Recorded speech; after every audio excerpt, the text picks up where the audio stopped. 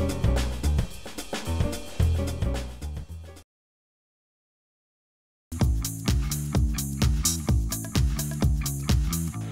here at the uh, Wowza Media System stand here in the New Hall at IBC 2012. I've got uh, David with me. Now, David, we spoke at NAB where you talked about uh, some of the new features of Wowza Media Server that will be coming up, and I believe they're now being uh, fully launched. Tell us a bit about them. Absolutely. So here at IBC, we're releasing or announcing the release of Wowza Media Server 3.5. Yeah.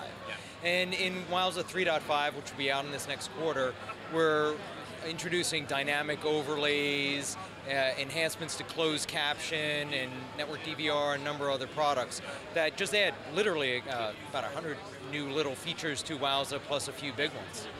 Uh, so for those who didn't see the video at NAB, tell us a little bit more about Wowza and the sort of services you offer.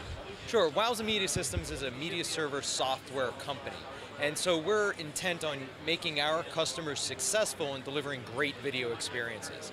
So we have the AnyScreen server, Wowza Media Server, that can deliver H.264 video and beyond to every device and provide a very consistent high quality experience. We recently introduced the Wowza transcoder, which does adaptive bitrate and makes sure that works as smoothly as possible.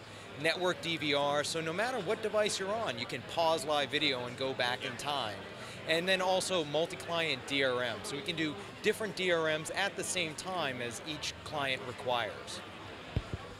If people want to find out a bit more information about what's coming up and all the new releases, uh, is there a website that they can go to? Oddly enough, there is. You can go to wowza.com, W-O-W-Z-A.com, and we have free trial and developer edition license, so you can give it a try, pound on it, and be really certain before you buy. David, thank you very much. Uh, go and have a look at their website. As always, link is showing on screen now and uh, find out everything you could possibly want to know about Wowza. Um, if you want to find out what we've been doing here at IBC, you'll see that on our show, uh, which is broadcastshow.com.